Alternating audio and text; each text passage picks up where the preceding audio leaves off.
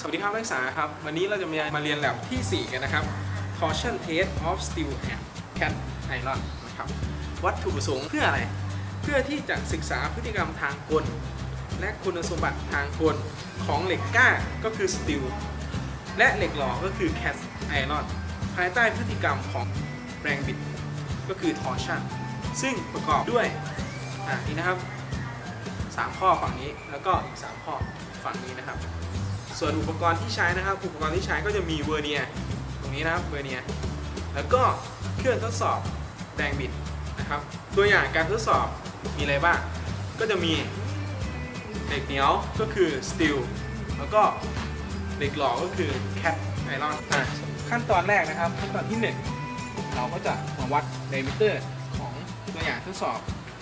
ของเหล็กเหนียวแล้วก็เหล็กหล่อนะครับ อะเอามาวัดเหล็กเหนียวกัน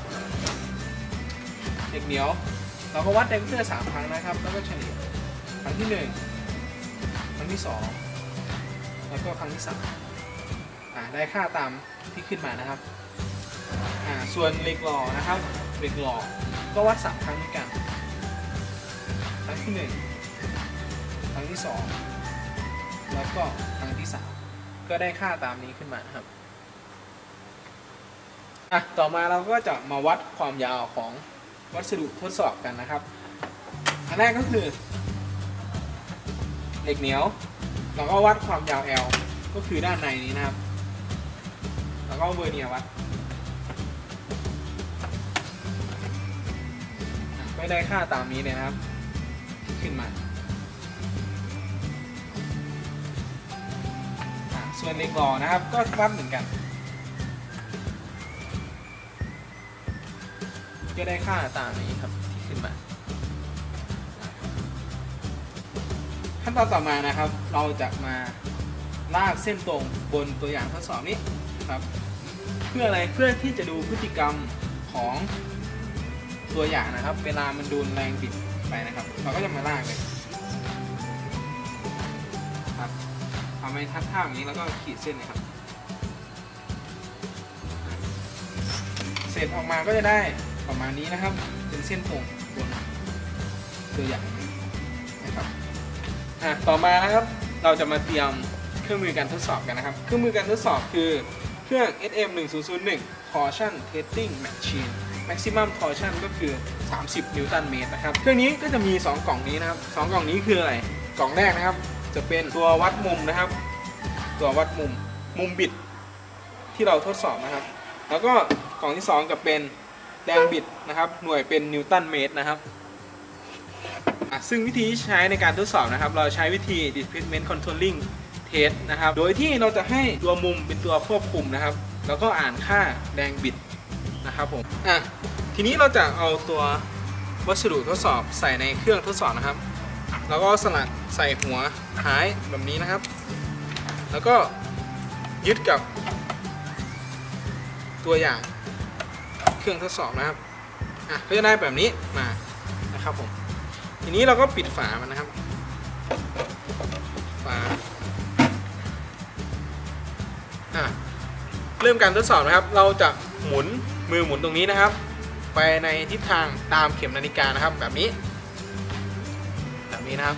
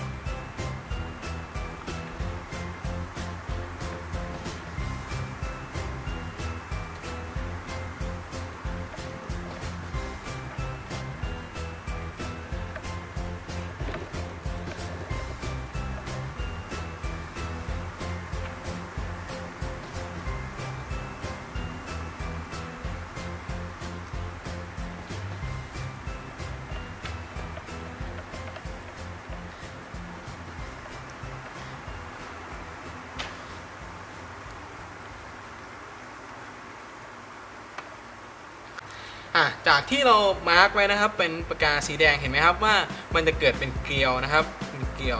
เกลียวนี้ก็จะเกิดจากแรงบิดที่เราออกแรงบิดไปนะครับ จะเห็นได้ว่า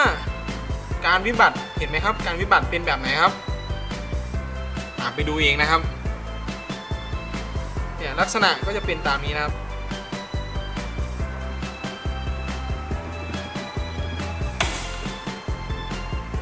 อ่าสำหรับเหล็กหล่อนะครับ จะเห็นได้ว่าเส้นที่เรามาร์กไว้เนี่ยยังบิดไปได้ไม่ถึงไหนเลยนะครับ แต่ว่าเกิดการวิบัติละการวิบัติเกิดแบบไหนครับสำหรับการบันทึกผลการทดลองนะครับ ตัวอย่างที่ 1 คือเหล็กหล่อก็จะมีค่าเส้นผ่านศูนย์กลาง ค่าความยาว L ค่า polar moment of inertia นะครับ ค่าแรงบิดที่ proportional limit แรงบิดสูงสุด มุมบิดสูงสุด ในส่วนของตารางบันทึกผลนะครับ ก็จะมีมุมบิดหน่วยเป็นเรเดียนนะครับ แรงบิดหน่วยเป็นนิวตันเมตร shearing state หน่วยเป็นเมกะปาร์คาวนะครับ shearing strain หน่วยเป็นเรเดียนกราฟเราจะบันทึกการแสดงความสัมพันธ์ระหว่าง shearing stain และก็ shearing state นะครับแกน x shearing stain นะครับหน่วยเป็น radian แกน y เป็น shearing state หน่วยเป็นเมกะปาร์คาวนะครับ ค่าต่างๆ เราจะได้จากกราฟทั้งหมด ส่วนตัวอย่างที่2นะครับเหล็กเหนียวการบันทึกค่าต่างๆ จะเหมือนกับเหล็กหล่อนะครับมีค่าเส้นผ่านศูนย์กลางความยาว L อะไรเหมือนกันนะครับตารางก็บันทึกเหมือนกันครับ จะต่างกันที่กราฟแสดงความสัมพันธ์นะครับ กราฟแสดงความสัมพันธ์ เราจะเห็นได้ว่ามันมีจุดสูงสุดและจุดต่ำสุดของกราฟนะครับ อันนี้เดี๋ยวให้นักศึกษาไปอ่านในทฤษฎีเพิ่มเติมนะครับผม หลังจากที่เราทดสอบนะครับจะเห็นได้ว่าเหล็กเหนียวเกิดการวิบัติแบบไหนครับ มุม 90 องศา ส่วนเหล็กหลอจะเป็นการวิบัติ แบบไหนครับแบบมุม 45 องศา สุดท้ายนะครับก็จะเป็นการสรุปผลต่างๆนะครับ ก็จะได้ค่าตามตารางในตัวอย่างแบบนี้นะครับผมอ่าแล้วก็ ส่วนข้อมูลที่นักศึกษาต้องเขียน เดี๋ยวพี่จะแปะให้ด้านล่างคลิปนี้นะครับ เดี๋ยวให้ทุกคนเข้าไปดูได้นะครับสำหรับวิดีโอการสอนนี้ก็จะจบลงเพียงเท่านี้ขอบคุณครับ